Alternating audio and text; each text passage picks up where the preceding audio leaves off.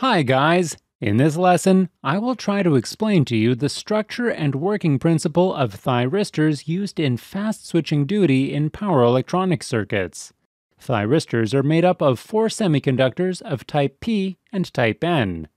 Thyristors are abbreviated as SCR, which is the initials of the words Silicon Controlled Rectifier. You see the shape of a thyristor on the left and the symbol on the right.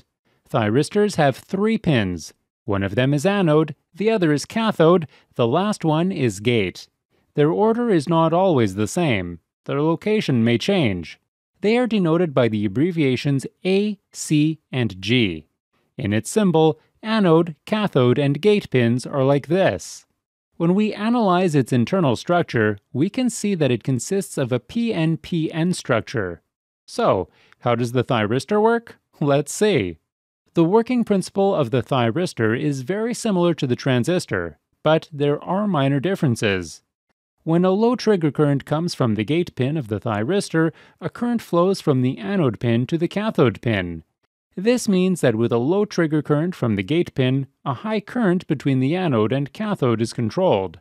While the current here controlled in the transistor is generally very low current at milliamp level, different intensities of currents from milliamp to amp level are controlled in the thyristor.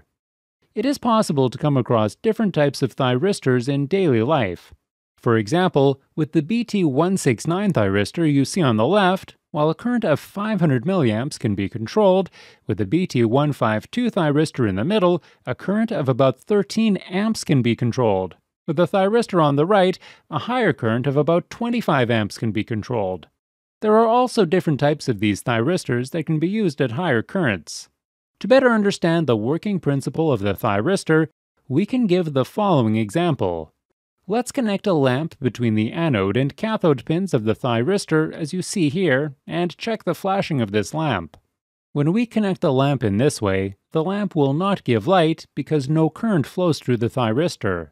A low trigger current must come from the gate pin to trigger the thyristor. By making a connection to the gate pin in this way, we can make the thyristor triggered.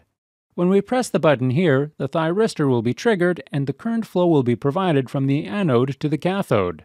Thus, the lamp will light up. Even if we release our hand from the button, namely disconnect the trigger from the gate pin, the lamp will continue to illuminate. This is one of the features that distinguishes the thyristor from the transistor.